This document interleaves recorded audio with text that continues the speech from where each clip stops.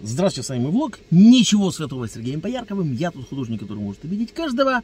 Спикер Нижней Палаты Американского Конгресса прямым текстом обратился и сказал «Твари зеленомордые, хватит воровать, негодяи! Потому что, подонки, вы же воруете не только у украинских избирателей и граждан, вы воруете у американских налогоплательщиков. Он, ну, не так, э, как я прямым текстом, конечно, это сформулировал. У меня в телеграм-канале можете посмотреть, он вежливо, дипломатично, но сказал то же самое. Он прямым текстом сказал, что отчетность не просто отсутствует, а присутствуют подозрения – что если отчетность будет, то воровство вскроется абсолютно очевидно, если бы не было подозрений. Они бы не стали на таком уровне, а это высочайший уровень в политике. То есть спикер палаты это топ-политик, это первая пятерка всегда политиков страны. Это, можно сказать, что еще чуть-чуть и почти президент. Это официальная позиция Белого дома, Сената, Конгресса, сформулированная в одном коротком, но очень ярком, хотя и дипломатичном, но похожим на прямую пощечину Зеленского обращении. Вот посмотрите, как коротко и ясно. Это в дипломатии так говорят прямым текстом, мы имеем обоснованные подозрения, что вы вороватые твари и требуем не просто прекращения, мы требуем отчета и наказания виновных, потому что после того, как отчетность покажет, а покажет она обязательно, что Зеленский возглавил команду наглых расхитителей и подонков, которые грабят и Украину, и американских налогоплательщиков, то наказание будет неизбежно. Вы понимаете, да, что от Коломойского американцы отставать не собираются, но эти им будут намного интереснее, чем э, Коломойский. И главное, что у этих-то э, ни мозгов, ни э, жизненного опыта нету. И сколько бы они ни украли наших и союзнических денег, это им не пойдет впрок, это им зайдет в срок. И этот срок оформится обязательно. Сегодня вокруг Зеленского дикий срач. То есть сегодня там все со всеми переругались. Они все выгнали, кого только могли, подсидели.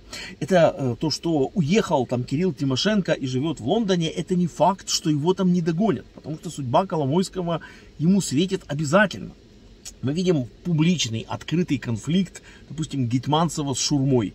Есть абсолютно уже четко прорисовавшееся и оформившееся в дикий скандал противостояние между Татаровым и Ермаком.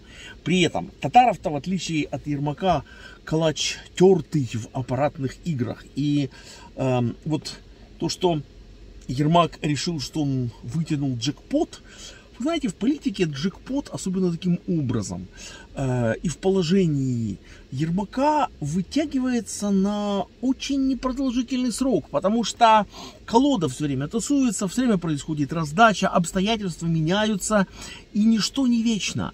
Э, Зеленскому нужно обязательно будет перед тем, как сдавать себя, сдавать кого-то другого.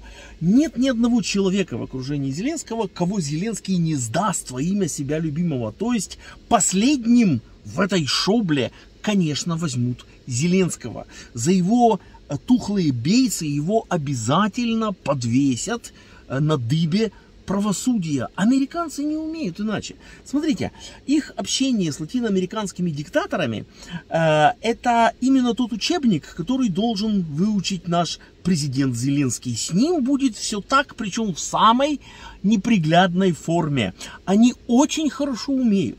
Еще вчера ими обласканного, нужного в определенной ситуации диктатора э, возвысить помочь решить свои вопросы, а потом его уже под конвоем доставить в страну донор, в страну помощник, в страну гегемон на земном шаре. Сегодня в мире есть одна сверхдержава в полном смысле этого слова. И именно эту сверхдержаву Зеленский довел вместе со своей шоблой до белого коленя. А, дипломаты, ну, в отличие от нас с вами, они никогда не говорят вот каким-то прямым текстом такие, знаете, безвозвратно однозначные вещи. Дипломатия это целая наука, это целый язык. Я общался в моей жизни с э, дипломатами, причем очень высокого уровня, и я понимаю, как много лет надо учиться, чтобы э, вот во всех этих нюансах э, уметь правильно расставить те дипломатические полутона, которые есть искусство профессии. Если вы видели когда-то в вашей жизни разговор двух дипломатов на приеме между собой, это просто э, музыка и шахматная игра. Как четко, витиевато и причудливо они тасуют вот эти формулировками, за которыми скрывается смысл. знаете, то, что сказал спикер Нижней Палаты, там смысл вообще не скрывается. В дипломатическом, ну, как бы, эм, в дипломатическом языке это, ну, это прямой вызов.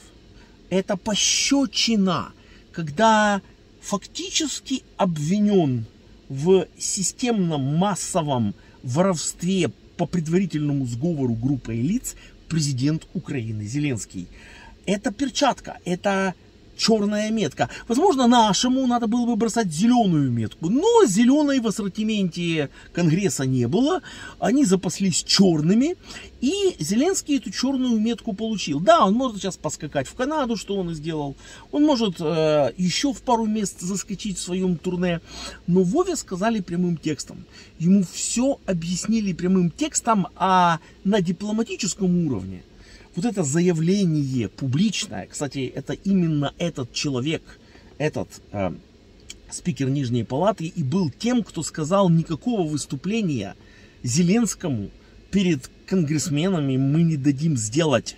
Рылом не вышел. Вороватый поц. Вот что это означает на недипломатичном языке.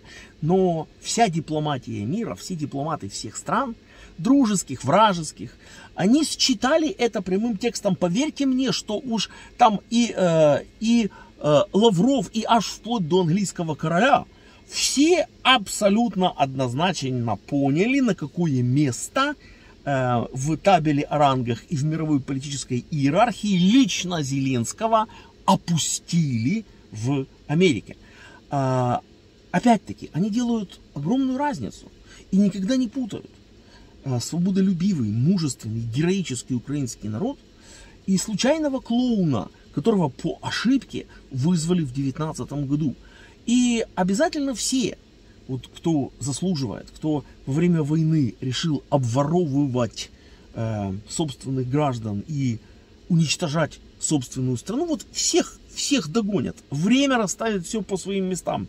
Но то, как прямолинейно на дипломатическом языке хлестка на отмаш по мордасам отхлестали нашего дурковатого Вовочку, это классический пример, что э, нельзя вот, давить тапочком в пол, потому что додавишься. Всему бреду и всей мерзости приходит конец. И конец неприглядный. Не забудьте, пожалуйста, подписаться на мой влог. Поставьте лайк, напишите комментарий и распространите это в соцсетях, если вы согласны с моим мнением. А победа, друзья мои, в этой жуткой и тяжелой войне обязательно будет за нами. Потому что и наша армия, и наши союзники, и каждый из нас сделаем все. Победа неизбежна, потому что за каждым из нас обязательно не сожалеем.